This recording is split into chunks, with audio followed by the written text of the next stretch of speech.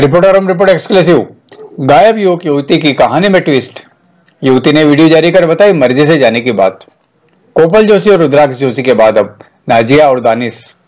पहले देखिए युवती द्वारा जारी वीडियो फिर पूरी दास्तान। अस्सलाम वालेकुम। मैं नाजिया कुरैशी, मोहम्मद शहराज कुरैशी। मेरे ऊपर किसी का कोई ज़ोर दबाव या ज़बरदस्ती नहीं है। मैंने अपनी मर्ज़ी से दिनांक 26 जुलाई को दानिश के साथ गई हूँ। मेरे कारण कोई बवाल ना करे। मेरा, मेरे घर वालों से, दानिश के घर वालों से और प्रशासन से यही अनुरोध है कि हमारा सपोर्ट करें।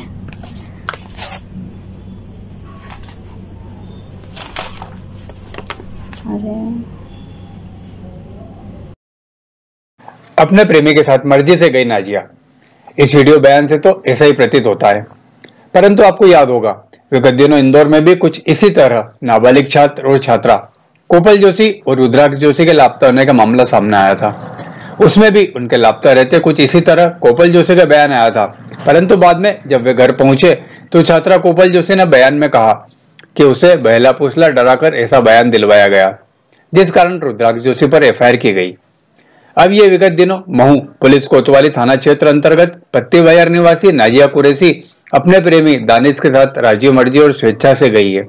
इस बात की पुष्टि के लिए उसने एक वीडियो पुलिस के वरिष्ठ अधिकारियों सहित कुछ पत्रकारों को भी प्रेषित किया है और इस मामले में भी नाजिया के परिजनों ने गुमसुदगी की रिपोर्ट लिखाई है, जबकि इस वीडियो के अनुसार वह स्वेच्छा से घर छोड़कर गई है।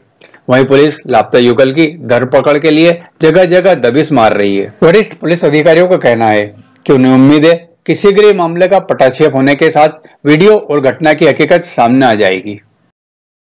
सोशल डिस्टेंसिंग पालन के साथ पहनना है मास्क।